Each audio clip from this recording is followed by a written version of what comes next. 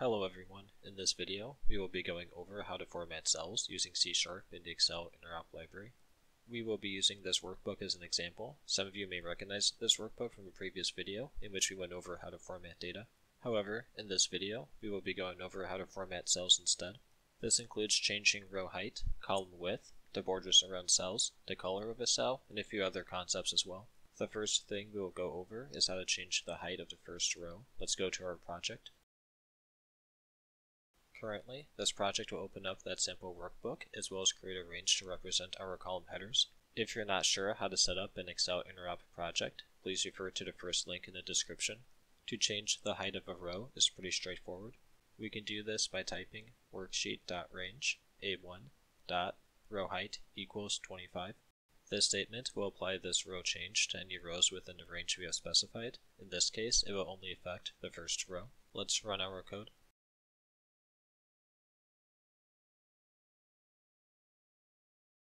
It may be hard to see, but the height of the first row has now increased.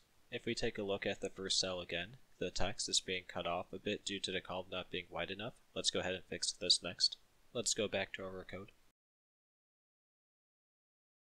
Changing the column width is very similar to changing row height. Let's copy the statement above and change the property we're accessing from row height to column width. Let's also change the value from 25 to 15. Let's run our code.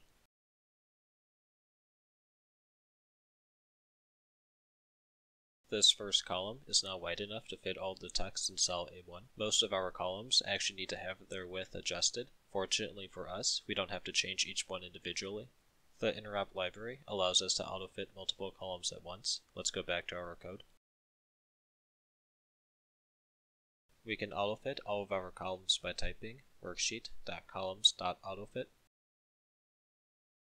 Let's run our code.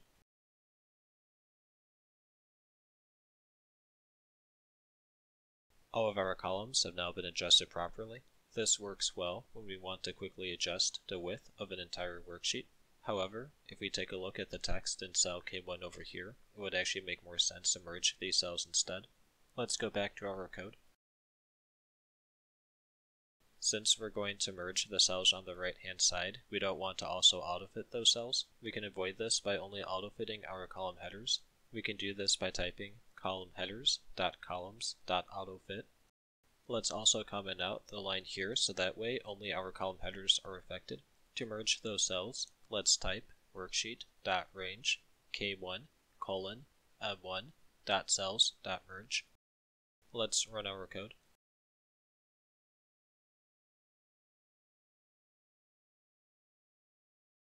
Now, only the width of our column headers have been adjusted and the cells over here have been merged. Next, let's go over how to add borders to our cells. For this next step, let's first define a range for all of our data.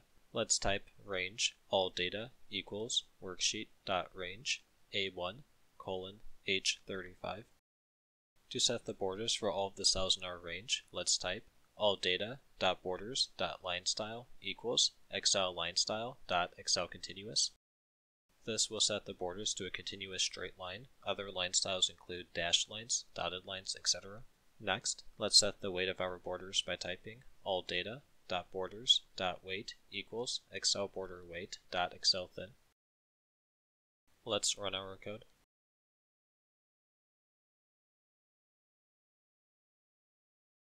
All of our cells now have borders around them. Next, let's go over how to change the color of our cell borders.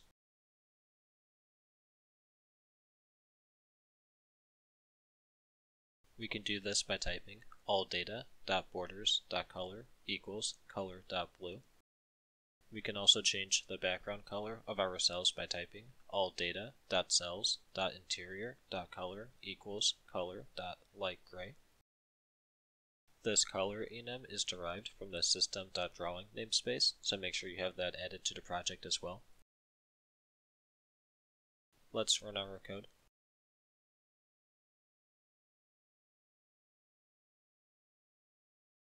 Our cells now have colored borders as well as a background color. Now, this may not be the best looking workbook you've ever seen, but hopefully by now you have an understanding of how to format cells programmatically. That's all for this video. If you found this video helpful and want to see more tutorials like these, please like and subscribe to the channel. Also, if there are any topics I haven't covered, feel free to suggest them in the comments and I may make a video about them in the future. Thanks for watching.